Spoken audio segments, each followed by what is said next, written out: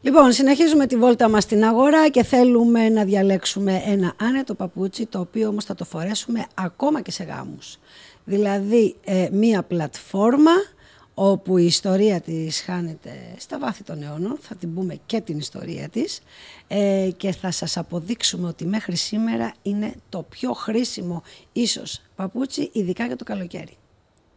Και φυσικά η βόλτα μας για ψώνια μας οδήγησε στην απλοταριά, στην καρδιά της αγοράς μας, ε, σε ένα πεζόδρομο που έχει ομορφύνει πολύ τα ώρα τελευταία, ε, λόγω των έργων που έχουν γίνει και έτσι τον χαιρόμαστε και εμείς και οι επισκέπτες που έρχονται να ψωνίσουν στην αγορά μας. Ε, η επόμενη ανάγκη που μας δημιουργήθηκε είναι παπουτσάκια και μάλιστα πλατφόρμες άνετα παπούτσια αλλά και συγχρόνως κομψά.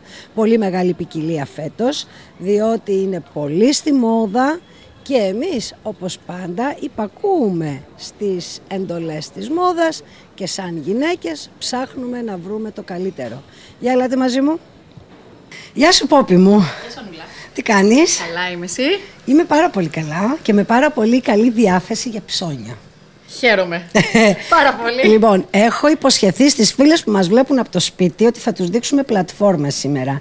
Και θυμόμουν από κάποιο άλλο ρεπορτάζ που είχαμε κάνει ότι είχες πλατφόρμες εσύ. Ναι.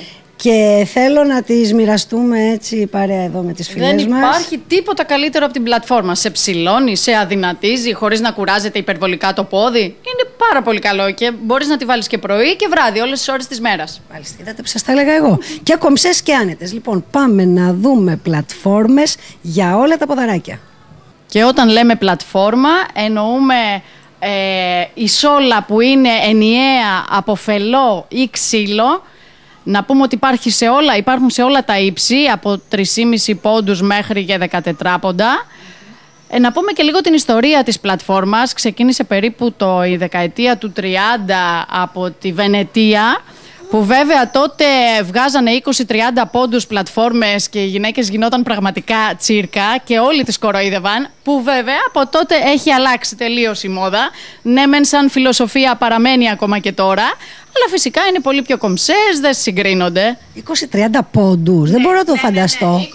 Σαν ξυλοπόδαρα το θα είχαν ήταν. βγάλει για τα καρναβάλια, για το καρναβάλι της Βενετίας μάλιστα, για και τα από εκεί και καρναβάλια. πέρα όμως ο- σε όλες τους άρεσε πάρα πολύ γιατί όπως είπαμε και αρχικά δίνουν ύψος και φαινομενικά είσαι και πιο αδύνατη εννοείται. Ε, βέβαια. Λογικό είναι. Και από τότε άρχισαν να το υιοθετούν στην αγορά ε, και όλες οι γυναίκες και σιγά σιγά με τα χρόνια μία είναι στη μόδα, μία δεν είναι. Φέτος όμως είναι. Φέτος είναι πάρα Έχει πολύ. γεμίσει η αγορά με πλατφόρμες, Μπορούμε, δηλαδή ναι. τρελαίνομαι που το Πραγματικά. βλέπω γιατί... Είναι πάρα πολύ βολικά παπούτσια και ειδικά φέτος βλέπουμε και μία ε, σολίτσα αυτή που είναι περίπου όσο πίσω το ίδιο και μπροστά που σημαίνει ότι το πόδι είναι σχεδόν ίσιο. Σαν παντόφλα δηλαδή αισθανόμαστε. Επίσης καλά που το έθεσες και οι παντόφλες πολύ στη μόδα σε, σε συνδυασμό με την πλατφόρμα που προαναφέραμε είτε με στρας είτε με μέταλλα χρώματα ως επιτοπλίστων αποχρώσεις του καφέ τα περισσότερα βρίσκουμε και με λουριά όπως είναι αυτό για παραδειγμα Δεν είναι χαμηλά στο πόδι, δεν πέφτουν τα λουριά. Δεν είναι όπως κάτι που είχαμε παλιότερα που ανεβαίναν μέχρι το γόνατο και με το περπάτημα πέφτανε. Είναι χαμηλά μόνο στον αστράγαλο. Μάλιστα. Και το μεταλλό είναι πολύ Ναι. ιδιαίτερο, που είναι έτσι στολισμένες. Αλλά και τα στρας που βλέπουμε πάνω σε αυτές τις διαφάνειες. Θέλω να μας το εξηγήσεις αυτό. Ναι, Μπράβο. Εκεί τώρα πάμε σε μια άλλη πλατφόρμα εντυπωσιακή, πάλι σε παντόφλα βέβαια. Εκεί το ξεκίνησε στη δεκαετία του 60 ο Σαλβατόρε Φεραγκάμο και έφτιαξε το πρώτο αόρατο παπούτσι.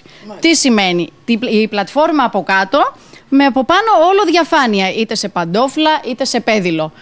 Τόσα χρόνια λοιπόν μετά, πόσα 50 χρόνια περίπου, 60 μετά, αυτό επανήλθε δυναμικά και βλέπουμε και στολισμένες διαφάνειες και τελείως σκέτο. Πάρα πολύ ουδέτερα, μπαίνουν με τα πάντα, δεν σε περιορίζουν εντυπωσιακό. χρωματικά. Πραγματικά πολύ εντυπωσιακό και αυτό το γυμνό που δείχνει την εντύπωση του γυμνού από πάνω το πόδι είναι πολύ σεξι θα έλεγα. Ναι, και μου δώσες τώρα και μία αφορμή. Εκεί απλά θέλουμε πολύ καλό πεντικιούρ και πολύ καλό πόδι, είναι η αλήθεια. Όσο γίνεται καλύτερα δάχτυλα και τέτοια. Μάλιστα, αόρατα παπούτσια λοιπόν, αλλά και άνετα και φυσικά διαχρονικά, διότι μπορούμε να τα βάλουμε και με όλα μας τα ρούχα, όλες τις ώρες της ημέρας, από τη στιγμή που η άνεση είναι πλέον στα πόδια μας. Δεν φεύγει κανείς, συνεχίζουμε με περισσότερες πλατφόρμες. Συνεχίζουμε το θριαμβευτικό comeback της πλατφόρμας. Έχουμε πάλι εισρωές από περασμένες δεκαετίες όπως είναι η εμπριμέ πάτη, η ριγέ, τα φίδια σαν πάνω στις παντόφλες είτε στα πέδιλα. Και βλέπουμε μεγάλο ή πολύ ύψος τώρα, έτσι. Ανεβήκαμε σε ύψος, είμαστε στους 12 με 14 πόντους σε όλα αυτά τα παπούτσια. Η μόδα ξαναγύρισε είτε με διχρωμίες είτε με περίεργες σόλες και τακούνια.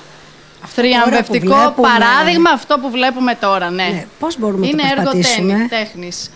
Ε, κοίτα, σαφώς και είναι δύσκολο παπούτσι. Είναι πανέμορφο όμως και σίγουρα σε κάποια που έχει συνηθίσει το ψηλό τακούνι δεν είναι τραγικά δύσκολο να το πάει. Αλήθεια. Ναι. Μάλιστα, θα το δοκιμάσουμε λοιπόν.